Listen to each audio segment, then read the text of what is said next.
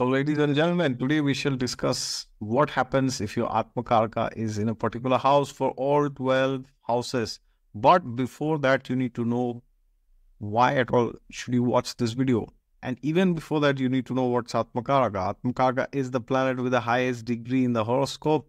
And Atmakaraka should be seen only in the Bhava Chalit chart, not in the Lagna chart. If you don't know Bhava Chalit chart, it is a chart which tells you which house a planet is placed. The Lagna chart only tells you which sign a planet is placed in. And if you have no idea of the Bhava chart, then please go to YouTube and type exotic astrology Bhava Chalit chart. B H A V A C H A L I T C H A R T. Bhava Chalit chart. Please go and watch it, and then you will know what is a Bhava Chalit chart where can you find it? How can you download it? Absolutely for free. All right so please watch that video. And in case you already know in which house your atmakarka is placed in the bhava chalit chart then you need to understand why should you know where atmakarka is placed because the atmakarka shows the soul's desire. So for example suppose the chart is flowing in a particular direction. For example maybe the 10th house is very strong the Lagna Lord is in the 10th or Sun, Moon, they are in the 10th and you know, uh, the fantastic area placements. But suppose the Atmakaraka for this person is sitting in the 5th house, then this person will not be able to be happy in a job which he or she does not like because the 5th house shows things which you like. So this could be a situation where you have a lot of name, fame, power position in your life, but you are unhappy because you do not identify yourself. You do not like what you do. So this is the trait of the fifth house. So externally you might have a lot of money and name fame, but internally you are very miserable because your fifth house is not activated. All right. So that is the reason why you should watch this video. And as usual, if you are new, then don't forget to subscribe to the channel. And for personalized consultations, you can always go to my website below. And if you want to share this video, you're most welcome with somebody who is concerned about their Atmakarak. All right, so the Atmakarak is the planet with the highest degree and shows your soul's potential. So that means if your Atmakaraka is in your first house, you you have to make decisions for yourself. You will not be happy if somebody else makes decisions for you, which means you may not like to listen to others, which is good or bad depending on how you make decisions. But you have to make your own uh, you have to uh, make your own decisions. You have to make your own life. Everything has to be individualistic. Everything has to be custom tailor made for you. Only then you will be happy which can be problematic sometimes because everything in this world does not come uh, custom tailor made right? But nonetheless you might want to shape the world uh, according to your views, uh, which is which is again uh, debatable if it is good or bad. It can uh, be very extreme. Sometimes could be issue could uh, lead to issues in your married life. But in general, this is a position which shows you need to stay true to yourself. So don't do things you don't like. Don't stay with people you don't like. Don't do jobs which you absolutely hate because eventually you will fall. You will fall down. Right. So that's Atmakarka in the first house. Number two, if Atmakaraka is in the second house of your Bhava Chalit chart, then there will be a strong focus on family. Very, very, very important. So, if the Atmakaraka is in the second house, then I don't care how much money you have because I know even you don't. because the Atmakaraka in the second house will make you very attached to the family. Now, if you had trauma in your childhood, if you had parents who were quarreling and they were divorced and they were fighting all the time, then you may uh, develop, you know, uh, animosity with your family and, you know, that will bother you very much.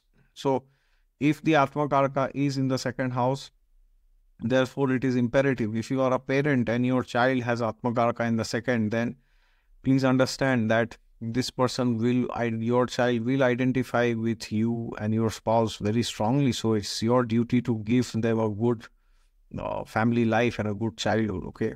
And if you are a child and you have Atmakarka in second and your parents did not have a good married life, well, then uh, maybe you need to find somebody else uh, who are like your parents. You know, maybe you find the love of your life and, you know, you have children. or you have friends who are like family. Okay, so therefore, family is paramount for you and do not compromise your family, your family ideals for anything else, or you will be very unhappy in life. All right if Atmakarka is in your third house, third house is the house of your siblings, your neighbors, acquaintances. Third house is small talk. Third house is you know casual con- contact communication, and uh, it shows your courage. It can show short travels. It can show uh, a desire to express yourself. So you should not stay in a place where you cannot express yourself, where you cannot exert your ideals because if you stay in such a place you will feel choked up and you will feel like dying. So therefore you should always put yourself in a place where uh, people want to appreciate you and hear you. Now this is a basic human need to be heard and appreciated but with atmakarka in third this is paramount okay? So therefore if you are staying in a place where people are telling you to be somebody else oof your days are numbered in that place okay because you will not be happy. So if you if you want to stay in a place then that place should be a place where you are respected and you are not humiliated for being yourself okay? Because third house shows very strong individuality and express yourself communicate. If you don't like things speak it out. Don't cut things without even discussing all right? So very important placement now, if the Atmakaraka is in your fourth house, ooh, this is a very strong placement. Very, very, very strong placement. The Atmakaraka in the fourth will give you very strong importance, uh, attachment towards your mother, you know, your family, your emotional security. You could be um, very strongly associating yourself with your motherland, your homeland, know, strong attachment to property, comforts, real estate, vehicles. So anything that gives you stability and happiness and peace in life. So if your Atmakaraka is in fourth, or as I said, even in the second, you know, family will be very important. Stability is something which you should always look for. So Atmakaraka in fourth or second, if you have a career which pays you a lot, but you uh, have to work 18 hours and you cannot focus on your family, then you will be the most miserable person. So do not choose a career that where you need to invest like, you know, 18, 20 hours of your day and you are left with no time for your family. It is imperative that you spend time with your loved ones and especially your mother and you aim for stability in life, especially Atma Karaka in fourth. Because if you are going from one place to the other you know every six months you are changing your job then after two three years you will feel left out you will feel spaced out okay? So therefore it is imperative you try to stick to what you are doing and build things gradually even for other areas of life not just profession all right? Number five atmakarka in fifth. This is in my opinion this is the best placement to have okay? So you for you creative self-expression individuality is very important. Focus on children is very important. You know focus on education love romance intelligence is very important. The fifth house shows things that you love doing. So needless to say don't stay with people you don't like. It's it's very similar to atmakarka in third and in the first okay? But the fifth house is more about creativity and energy and passion. So if you stay in a job where you cannot express yourself creatively to some extent at least, then uh, well, uh, yeah, you won't stay there for very long. Okay, so or if you are getting married to somebody you don't want to, then the marriage will not last very long. Okay, Atma Karaka in fifth, you cannot pretend for very long. The mask will fall off very soon. so Atmakarka in fifth, you need to understand that you are meant to be yourself. Be yourself. Do things that you like, provided, of course, under the guidance of a guru, and provided your activities don't contradict the word of, words of the scriptures. Okay, I'm not saying just you know go around drinking alcohol and just be a womanizer and go on scamming other people financially. I'm not saying that, but within the realm of dharma, within the realm of the scriptures, whatever is permitted within that you are free to act and please act accordingly all right atmakaraka in sixth Now, this is a very tricky position. This can be very good or it can be one of the worst placements. Atmakarka in sixth, you might you might be focusing too much on your enemies at times, which is not bad in a sense, but your life should not just become all about competition and enemies and animosity, okay, and trying to prove things to others. So, Atmakarka in six, your attitude should be that I do my best and then I leave the rest because six houses of the Dusthana house. Can give you troubles in life, right? So, Atmakarka in six, the challenge is you might be too much controlling you, with yourself and also others. You might want to control your own time, other people, others' time, others' money, which is uh, not the best because the, that will make people run away from you. Okay. So, therefore, Atmakarka in sixth, you need to focus on your daily habits, focus on your daily routines, you know, take care of your health, keep a check on your enemies, and focus on having a schedule, proper schedule. Do not waste time. If you waste time, you will lose your mind. All right. Very important. Atmakarka in the seventh house. Marriage is marriage is paramount for you. I don't care who you are, how you look, how much money you have if your married life is not good, then that's it. so Atmakarka in seventh, please don't rush for marriage. Now, of course, I'm not saying, you know, you you are crossing your 30s, 35, 40, 45, 50, 55. You're still like, oh, I'm waiting for my, you know, whatever, my dream girl or Prince Charming. I'm not saying that. Okay.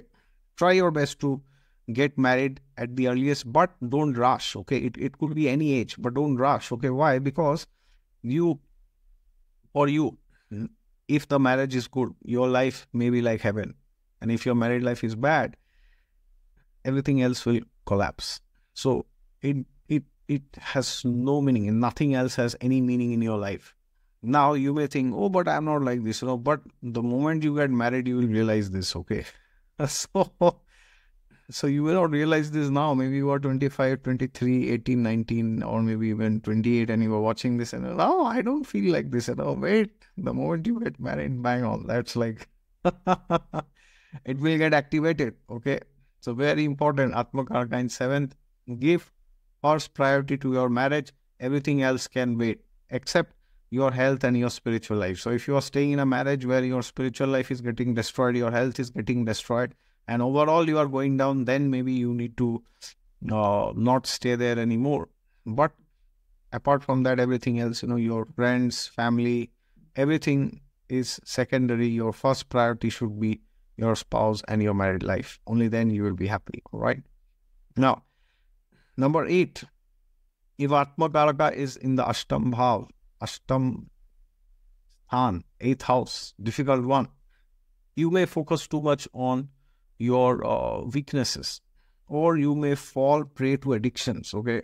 So or you may be interested too much into you know like occult sciences you know conspiracy theories hidden hidden knowledge and all this. Now this is not bad but you have to understand that atmakarka in 8 can sometimes always have this feeling that everyone else is abnormal because your because a person with Atmakarka in eighth can feel that, okay, why is everybody so different? Because you yourself are very different. So, therefore, if you have Atmakarka in the eighth, you might feel that, you know, things are a bit off sometimes. You know, like, for example, people are getting married in the late 20s, you may get married in 40s. Okay, people are having children in 30s, 20s. You are having children in your 50s. So, some things can feel a bit off. Okay, but it does not mean you are a bad person. At the same time, for this placement, it is non negotiable that you need to have a spiritual master. You need to take Diksha from a guru. Otherwise, you may be very confused and you may roam the entire world. You may roam the 14 planetary systems like a zombie without knowing anything. Because Atmakarka in the 8th can show us at a soul level you are lost sometimes. Okay. But at the same time, uh, this does not mean you are always lost, but surely if you have this placement and the overall chart is not supportive and you don't have a guru, then you might be lost. All right. So please take care and try to take shelter of a bona fide spiritual master. Atmakaraka in the ninth house. Very, very, very amazing placement. This is, you know, like the fifth house. This is also a very amazing placement. So, Atma Atmakaraka in the ninth, it can make you very philosophical. For you, it is very important that before you get married or, you know, you have friendships or business partnerships, your vibe, your energy, your you you should match at a philosophical level. Not that you know both should be of the same, uh, both should believe in the same philosophy, not necessarily, but you need to be aligned mentally, intellectually. Otherwise, what happens is you will feel, oh, you know, uh, it's not working. You know, we are not able to get along. We are not able to go ahead. Okay. And it is also very important with this placement that you have great relationships with your gurus, uh, your spiritual master, your Diksha guru, especially, because that will help you and depending on your chart your relationship with your father could be a bit intense you know it could be very positive or very negative okay so if there are malefics in the ninth then uh, your relationship with your father could start, uh, be there could be some strain there okay? Or if there are benefics you may uh, take a lot of inspiration from your father all right? But nonetheless uh, do your best and try to seek guidance from your guru wherever required all right? Then atma karka in the 10th house. As much as I would love to say this is a great placement, but one danger is it can make you very narcissistic. It can make you addicted to success. Now, it does not mean if you have Atmakaraka in 10th, 10th, you will always be successful. But the problem with this placement is the moment you get any success in life, you start feeling yourself as somebody superior and you look down on others and you bully others. Okay. So, therefore, if you have success in your life, in any area of life, then please be respectful and kind and cordial to others. Uh, don't treat others others as animals. and don't think you are like the you know star because you may be the star, but for some time, right? God is the only star and nobody else. that is why the scriptures say this about Krishna, Lord Krishna. He's known as Nayakanam Shiromani, which means He's the hero of all the heroes. He's the leader. He's the boss of all the heroes because he's supreme personality of Godhead, Swayam Bhagwan. So therefore, you need to understand that this is a great placement. If you want to put all eggs into a profession, go all in, you know, earn money, there's a fantastic placement, maybe the best placement in Kali at this point because everybody wants, you know, name, fame, power, position, authority. But at the same time, people may start disliking you because of your narcissism and your your animalistic traits okay? So do not use other people and do not abuse others okay? Now atmakarka in the 11th well again one of the best placements after the 5th 9th 10th this is one of the best placements in the chart. For you it is very important that you think long term because if you think short term ooh, life can be difficult for you so Atmakarka in the 11th, you will think, oh, you know, it's in the house of gains. I'll always make gains. But I will tell you, bang on, you check this with anybody. Atmakarka in the 11th, the moment you think short term, you will, it will backfire. You will suffer miserably. Okay. So if you think, oh, maybe, you know, I can put money into some, you know, penny stock or meme coin or, you know, some scam and you know in 21 days it will double you know 21 दिन में पैसा double 7 दिन में double 7 days it double then well you are mistaken okay so this can be a great placement if you want long term wealth you know long term name fame power position very very very amazing placement maybe among all the 4 5 9 10 11 this is the best placement so congratulations if you have this you know what to do in life you know what will give you gains, but don't screw it by thinking short term. Right? Last but not the least, very important, Atmakarka in 12th house could be a difficult placement or a very good placement. Difficult in the sense, if your trines are good, then uh, sorry, if your trines are not good, then this can make you run towards addictions, and you know eh, you, you might do things which you should not do in general. Okay, but if your trines are supportive, then this can be a placement where you are very detached. You do things, but you are not obsessed with the results. Okay. So, therefore, you need to understand that this is a very interesting placement. It could go either ways. Either I get too attached, and then when there is attachment, I I suffer because you know life takes things away from you, right? Or I be detached and naturally I give donations and I let people have their own space and do whatever they want and I don't try to control others. And that is how we become uh, spiritually elevated also you know by cultivating detachment and of course by reading the scriptures associating with uh, sadhus and by doing our spiritual practices diligently. All right? Thank you so much. If you're new then don't forget to subscribe to the channel and please comment below what is where is your atmakarka placed? Which house and which sign it is in. All right. Please take care. Jai siara